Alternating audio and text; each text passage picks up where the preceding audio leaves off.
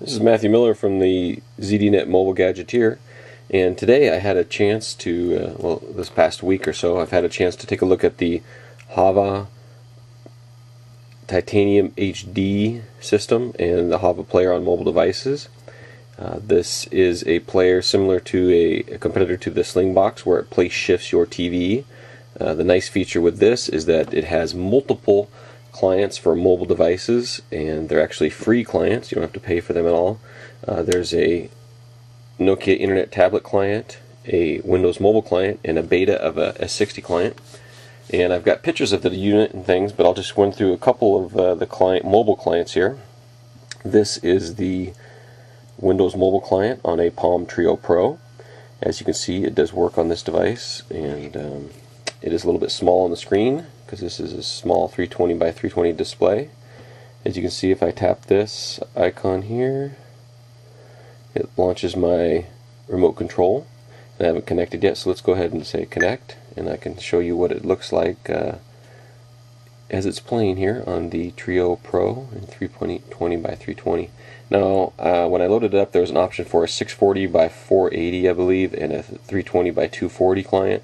This is the 320 by 240 client. It seemed to play a little bit better than the uh, other client. Let me go ahead and put silent on silent for now, just so we can take a look at it. So there it is playing on the Treo Pro, and this is actually connected via uh, HSDPA connection, not via my home Wi-Fi. And as you can see, there's a bunch of different commands and menus you can go through, and I'll show that on the Nokia client. I just wanted to kind of show you what it looked like on a small device. If I tap this, it will close my remote and there's a full screen view. I there we go. So that's on the uh, Treo Pro. Let me go ahead and stop that so I can connect with another device. This is the uh, Nokia Beta S60 Beta client. And I'm just connecting right here. This device is not a touchscreen device, and most S60s aren't until the recently announced one, the 5800. So let it start up here and connect. And there we are connecting there too. Let me just go ahead and mute that for now. So uh, what's different here, there's the options, and if you see this navigation wheel, it'll actually let you go left, right, up and down with the wheel, like when you're selecting on your menu of your uh, remote control for like the DVR and things. And there's some settings and things, of course. Now, on the bottom, uh, rather than tapping on the screen and seeing the remote, we have a bunch of different functions here that we can see. And then if I press this uh, soft key for remote, it changes these bottom functions. So there's channel up and down, last, uh, mute, power, press it again. Then we go through, there's like the guide. If I was to launch the guide, page up, page down, last. So all your controls are easily accessed with a non-touchscreen device and as you can see the picture looks pretty good. This is actually connected uh, via my home Wi-Fi connection as well. So let's just go ahead and disconnect that and jump to the Nokia Internet tablet which really is kind of the uh, the best device to probably use with with a, something like this when you're on the go. Just because of the uh, the size of the display as we'll see here. So let's connect to excuse me. This is also connected via Wi-Fi at this time. You could connect it to your uh, mobile phone if you wanted to. So it's connecting. One thing I'll show, let's see. He's one for ten. He made the final out. Go ahead and mute it for a second. So quickly I'll run through some things. If I push this channel, it changes the remote control over here to now it's uh, channel buttons. If you tap fave, you can actually uh, set up your favorite channels on here to quickly access them. As you can see, there's the options for setting up your favorite channel.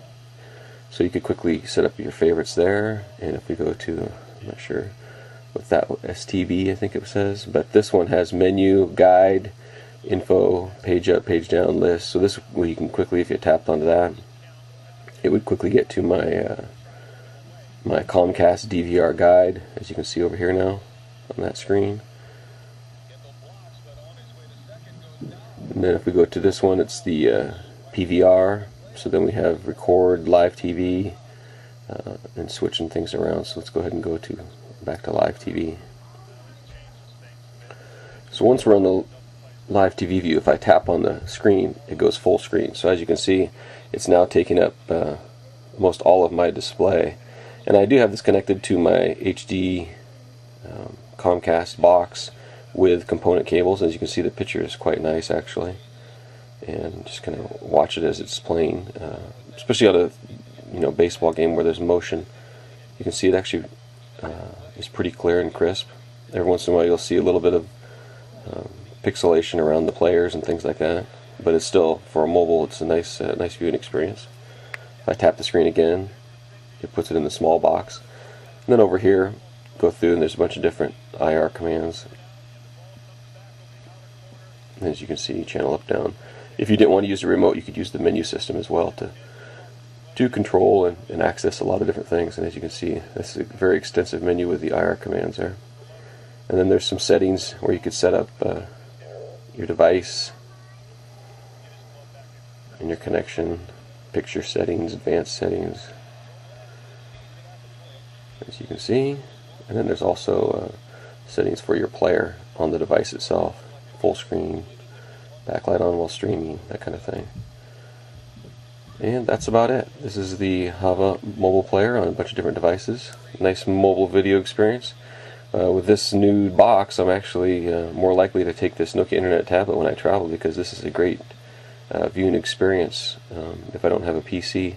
Right now, there is no Mac client for the uh, for the Hava, whereas there is for Slingbox. But uh, still, this is a very compelling solution. They do have multiple models of the uh, of the Hava as well. This is the one I'm looking at is the titanium, which I believe is on sale for something like $149, which is pretty reasonable for uh, place shifting your TV.